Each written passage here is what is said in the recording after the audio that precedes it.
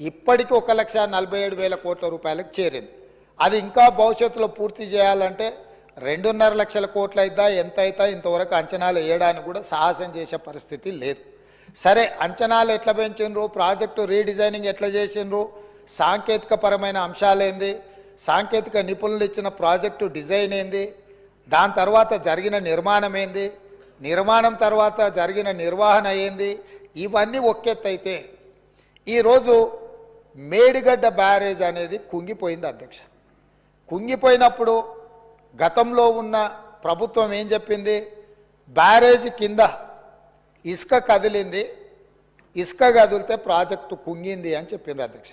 నేను తమరి ద్వారా అడుగుతున్న అధ్యక్ష ఇసుకలో పేక మేడలు కట్టిండ్రు అధ్యక్ష. ఇసుక కదిలేటట్ల ప్రాజెక్టు బ్యారేజు కట్టి వేల కోట్ల రూపాయలు ఖర్చు పెట్టి ఈరోజు అది కుంగిపోయితే చుట్టూత పోలీసు పహారాలు. వాగా బార్డర్లో కూడా అంత పోలీస్ పహారాలు లేవు. అంటే బా భారత్ పాకిస్తాన్ సరిహద్దులో వాగా బార్డర్ ఉంటుంది. అంటే పాకిస్తాన్లోకి వెళ్ళాలి అని అంటే అక్కడ మొత్తం శత్రు దుర్భేద్య విధంగా పహారాలు కాస్తుంటారు పోలీసులు. అక్కడ ఉండే ఆర్మీ.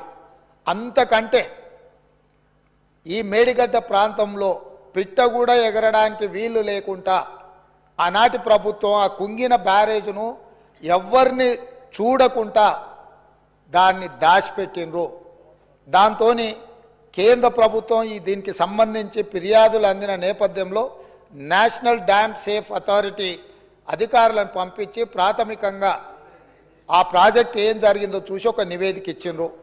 ఆ కేంద్ర ప్రభుత్వం నుంచి ఇచ్చిన సాంకేతిక నిపుణులు ఇచ్చిన నివేదికను కూడా గత ప్రభుత్వం తప్పుపట్టింది ఆ తర్వాత కాంగ్రెస్ అధికారంలోకి వచ్చిన తర్వాత అక్కడ జరుగుతున్న పరిణామాల నేపథ్యంలో కొంతమంది అధికారులు ఆఫీసుల నుంచి ఫైల్స్ మాయం చేసిందని టీవీలలో పేపర్లలో పెద్ద ఎత్తున వచ్చింది.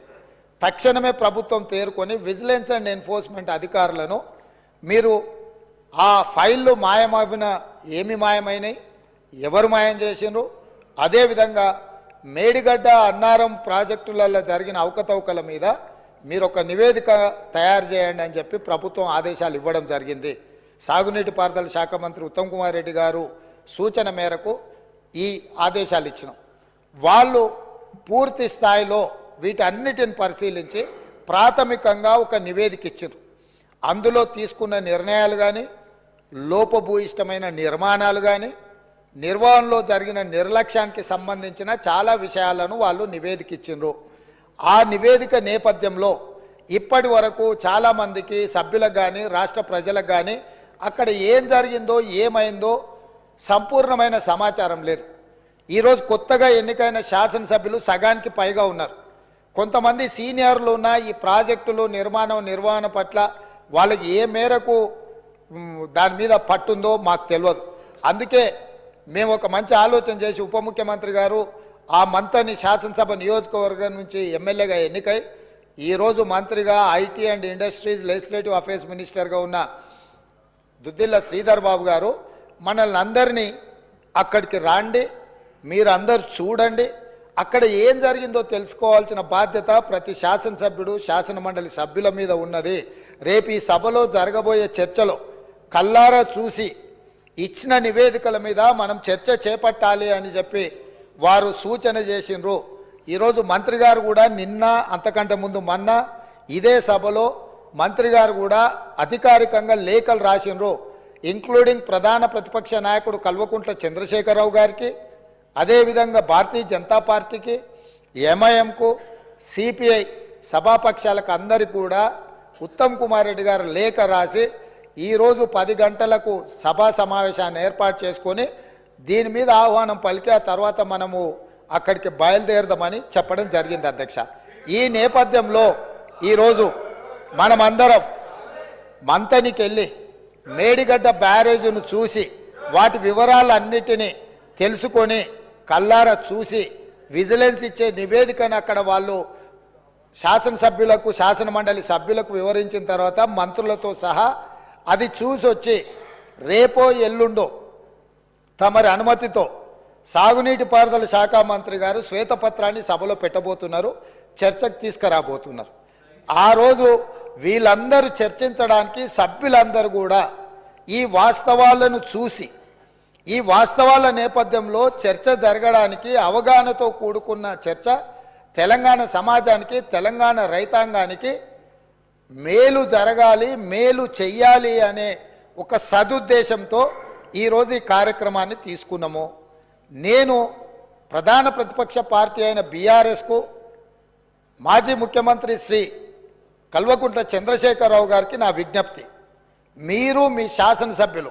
ఎందుకంటే ఈ అద్భుతం ఈ మ్యాన్ మేడ్ వండర్ ప్రపంచంలోనే అద్భుతమని ఇక్కడ కాదు. న్యూయార్క్ స్క్వేర్ న్యూయార్క్ టైమ్స్ న్యూయార్క్లో అక్కడ పెద్ద పెద్ద డిస్కవరీ ఛానల్స్తో పాటు న్యూయార్క్లో కూడా అక్కడ ప్రపంచంలో అద్భుతాలను ప్రదర్శించే దగ్గర కూడా దీన్ని ప్రదర్శించరు సంతోషం. తమరు ముఖ్యమంత్రిగా ఉన్నప్పుడు తమరి ఆలోచనతో తమరి అనుభవంతో తమ ఆదేశాలతో ఈ అద్భుతాన్ని ఆవిష్కరించారు కదా. ఈరోజు ఈ అద్భుతాన్ని తెలంగాణ ప్రజలు ఎన్నుకున్న శాసనసభ్యులు శాసన మండలి సభ్యులకు చూపించేటప్పుడు వారే ముందుండి వారే ఏ విధంగా ఈ అద్భుతాన్ని సృష్టించినరో దానికోసం వారు ఎంత శ్రమ పడ్డారో ఎన్ని రాత్రులు నిద్ర లేకుండా వారు గడిపినరో వారి అనుభవాలను అన్నిటిని కూడా అక్కడ అందరికీ వివరించి చెప్తే తెలంగాణ సమాజానికి అంతా కూడా ఈ అద్భుతం. అదేంది మన అక్కడ ఉన్నది కదా మన ఏందన్న ప్రేమకు ప్రతీక ఉంటుంది చూడు. తాజ్మహల్ అంత అద్భుతాన్ని అక్కడ ఆవిష్కరించింది కాబట్టి కల్లార చూసి మేము చూస్తే మా చెవులకు అందరికీ వీణు విందుగా వారు చెప్పడానికి అవకాశం ఉంది. కాబట్టి ఈరోజు నేను తమరి ద్వారా మళ్ళొక్కసారి కల్వకుంట చంద్రశేఖరరావు గారికి గత సాగునీటి పారుదల శాఖ మంత్రి తర్వాత ఆర్థిక శాఖ మంత్రి మిత్రుడు హరీష్ రావు గారికి పెద్దలు కడియం శ్రీహార్ గారు కూడా గతంలో సాగునీటి పారుదల శాఖ మంత్రిగా చేసినారు. అనుభవజ్ఞులు తెలంగాణ సమాజంలో వారి పట్ల గౌరవం ఉన్నది.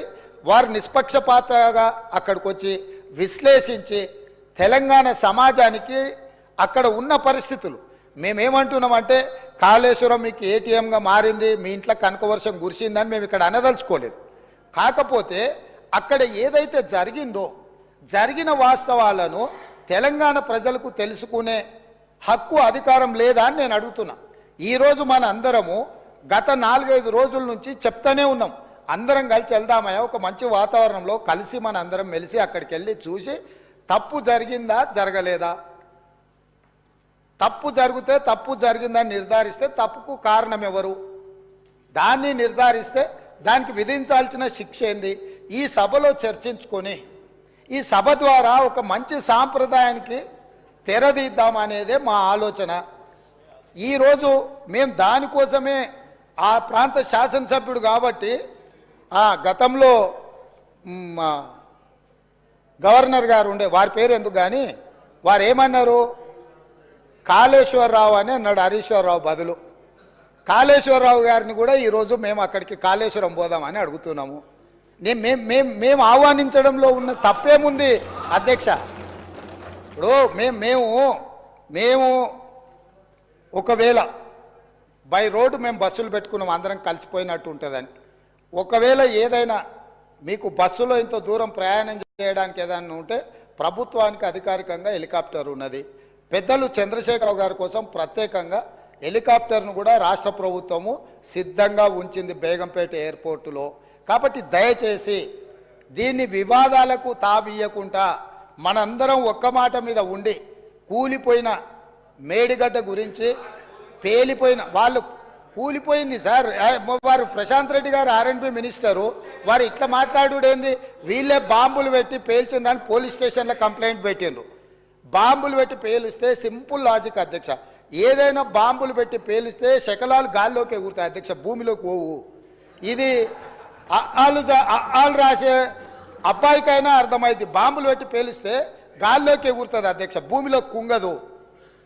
పోలీస్ స్టేషన్లో అట్లా కంప్లైంట్ పెట్టింది కాబట్టి ఇది బాంబులు పెట్టి పేల్చిండ్రా? లేకపోతే కింద ఇసుక కలిగి పిట్టగూడు కడితే పీకమేడలు కడితే కుంగిందా? ఇవన్నీ కూడా సమాజం తెలుసుకోవాల్సిన అవసరం ఉంది. సభ్యులుగా చర్చించే ముందు మనందరం కూడా అక్కడికి వెళ్దాము. కాబట్టి దయచేసి సభాపక్ష నాయకుడుగా ప్రధాన ప్రతిపక్ష నాయకుడు శ్రీ చంద్రశేఖరరావు గారిని అదేవిధంగా మాజీ సాగునీటి పారుదల ఆర్థిక శాఖ ఎందుకంటే అన్ని నిధులు విడుదల చేసింది వారే కాబట్టి హరీష్ రావు గారిని మా పెద్దలు కడెం శ్రీహరి గారికి ఈ తెలంగాణ సమాజం పట్ల ఈ సమస్యల పట్ల సాగునీటి ప్రాజెక్టుల పట్ల వారికి ఒక అవగాహన ఉన్నది. వారిలాంటి వాళ్ళు చూసి విశ్లేషించి చెప్తే మేము కూడా కొంత నేర్చుకుంటాం. ఎందుకంటే అన్నీ మాకు తెలుసని మేము అనుకోం. మేమేం అపర మేధావులం కాదు. ఏదైనా మాకు తెలియంది ఉంటే అడిగి తెలుసుకుంటాం. శ్రీహరి గారు లాంటి వాళ్ళు అనుభవజ్ఞులు తుమ్మల నాగేశ్వరరావు గారు లాంటి అనుభవజ్ఞులు గతంలో ఈ శాఖలలో మంత్రులుగా బాధ్యతలు నిర్వహించిన వాళ్ళు ఉన్నారు. కొత్త తరం నేర్చుకోవాల్సిన అవసరం ఉన్నది. నాకు కూడా శాఖలు ఎప్పుడు నేను నిర్వహించలేదు కాబట్టి నాకు కూడా నేర్చుకోవాల్సిన అవసరం ఉన్నది. నేర్చుకోవడానికి నేను సిద్ధంగా ఉన్నా కాబట్టి దయచేసి ఇక్కడ నుంచి మనం అందరం బయలుదేరి అక్కడ చూసి అక్కడ ఉన్న పరిస్థితులను అన్నిటిని కూడా అవగాహన చేసుకొని రేపో ఎల్లుండో తమరి అనుమతి తీసుకొని మంత్రి గారు శ్వేతపత్రం ప్రవేశపెడతారు. శ్వేతపత్రంలో తెలంగాణలో ఉన్న ప్రాజెక్టులు అన్నిటి మీద చర్చ చేద్దాం. అదేవిధంగా కాళేశ్వరము కాళేశ్వరరావు గారి మీద వీటి మీద చర్చ చేద్దాం. ఇది ఎవరెవరికి ఏటీఎంగా మారింది దీని సంగతి ఏంది దీని కథ ఏంది దీని కమామిస్ ఏంది ఈ సభలో చర్చించుకుందామని తెలియజేస్తూ తమరు అవకాశం ఇచ్చినందుకు ధన్యవాదాలు తెలియజేస్తూ అందరినీ రావాల్సిందిగా ప్రత్యేకంగా అందరినీ రావాల్సిందిగా మళ్ళీ మీరు రేపో ఎల్లుండి అనుమతి ఇచ్చినప్పుడు దీని మీద చర్చ చేయడానికి మీరు అవకాశం ఇవ్వాల్సిందిగా కోరుకుంటున్నాను అధ్యక్ష.